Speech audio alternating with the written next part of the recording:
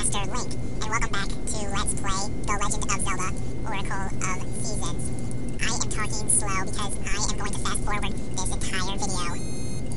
This entire video is going to be about me getting the Noble Sword from this god-forsaken side quest of the trading of the items. There's some things that I want to show you. After you get the Goron Vase from the giant Goron guy,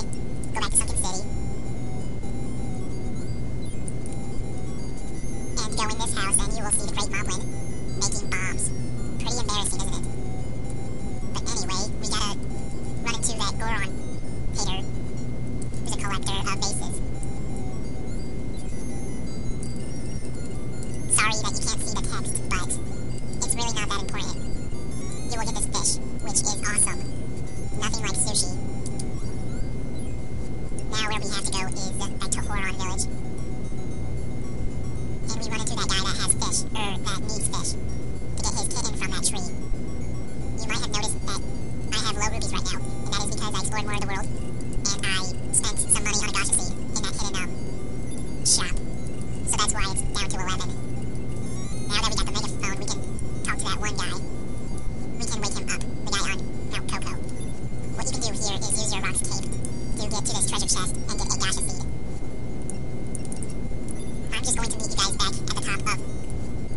Mount Cucco. I'm back. Now we'll use the megaphone on this guy. And he gives you the mushroom that's behind him. Now if you go back here and push these blocks around, you'll get a ring from this treasure chest. Now we have to go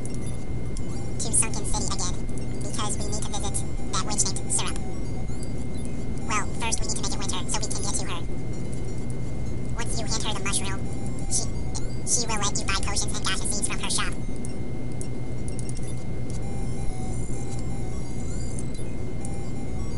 I'm trying not to speak too much because this is pretty tedious to talk so slowly.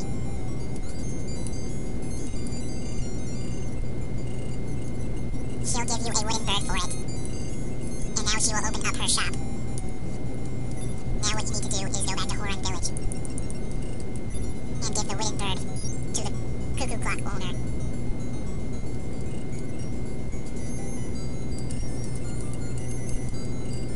When you give him the bird, he will give you engine grease. Which this should sound kind of familiar. I'm sure Ocarina of Time fans would recognize what you could use grease for. Like maybe for a windmill perhaps? To make it go faster? Instead of playing the Song of Storms? Even though that's what's playing right this very moment? which this is probably going to be two times speed, so it might sound a lot more like the original version from Ocarina of Time.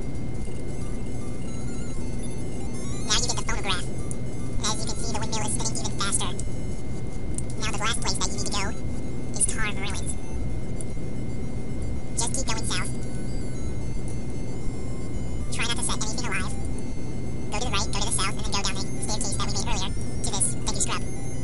Do D D D. It's staring at your phonograph. Play it? Don't. We're going to play it. He'll teach us the way to that secret spot. If temperatures rise as you go far to the west, you'll find it. Now, you actually didn't really need that message. You didn't need to do any of the trading side quests if you already knew the way to go. I know that because I tested it. Same thing to go further in Tarm Ruins. You first make it winter. Then you make it fall. Then you make it spring. And finally, you make it summer. Now that that's done, we have the legendary master, I, I mean, noble sword, we're gonna pull it like this. You got the sacred noble sword.